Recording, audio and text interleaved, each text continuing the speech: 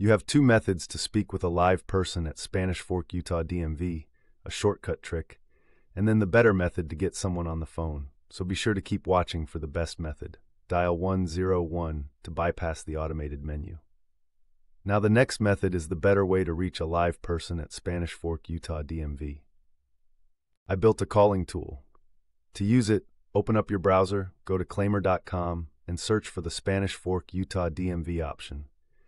Claimyr can automatically call any phone line for you. It'll connect you directly to a human at Spanish Fork, Utah DMV. It dials the number and stays on hold for you while it waits for an agent to take the call.